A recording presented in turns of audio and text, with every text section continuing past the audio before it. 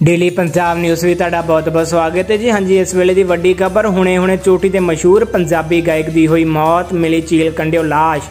ਹਾਂਜੀ, ਦੇਸ਼ ਵਿਦੇਸ਼ ਵਿੱਚ ਆਈ ਸੋਗ ਦੀ ਲਹਿਰ। ਹਾਂਜੀ, ਖਬਰ ਨੂੰ ਸਾਂਝੀ ਕਰਨ ਤੋਂ ਪਹਿਲਾਂ ਦੋਸਤੋ, ਜੇਕਰ ਤੁਸੀਂ ਸਾਡੇ ਚੈਨਲ ਤੇ ਨਵੇਂ ਹੋ ਤਾਂ ਸਾਡੇ ਚੈਨਲ ਨੂੰ ਸਬਸਕ੍ਰਾਈਬ, ਵੀਡੀਓ ਨੂੰ ਲਾਈਕ ਅਤੇ ਸ਼ੇਅਰ ਕਰਨਾ ਨਾ ਭੁੱਲਣਾ। ਹੁਣੇ ਚੋਟੀ ਤੇ ਮਸ਼ਹੂਰ ਪੰਜਾਬੀ ਗਾਇਕ ਦੀ ਹੋਈ ਮੌਤ, ਨਾਲ ਸੋਗ ਦੀ ਲਹਿਰ ਫੈਲ ਗਈ ਹੈ। ਪ੍ਰਾਪਤ ਜਾਣਕਾਰੀ ਅਨੁਸਾਰ ਹਿਮਾਚਲ ਪ੍ਰਦੇਸ਼ ਦੀ ਧਰਮਸ਼ਾਲਾ ਵਿੱਚ ਭਾਰੀ ਮੀਂਹ ਪੈਣ ਅਤੇ ਜ਼ਮੀਨ ਖਿਸਕਣ ਦੀਆਂ ਘਟਨਾ ਤੋਂ ਬਾਅਦ ਉੱਥੇ ਪਹੁੰਚੇ ਗਾਇਕ ਮਨਜੀਤ ਸਿੰਘ ਦੀ ਕਈ ਦਿਨਾਂ ਤੋਂ ਲਾਪਤਾ ਸਨ।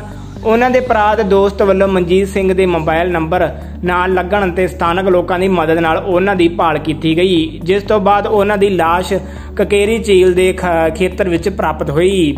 ਮੰਗਲਵਾਰ ਦੀ ਰਾਤ ਨੂੰ ਝੀਲ ਦੇ ਕੋਲੋਂ ਲਾਸ਼ ਨੂੰ ਬਰਾਮਦ ਕਰਕੇ ਧਰਮਸ਼ਾਲਾ ਲਿਆ ਗਿਆ।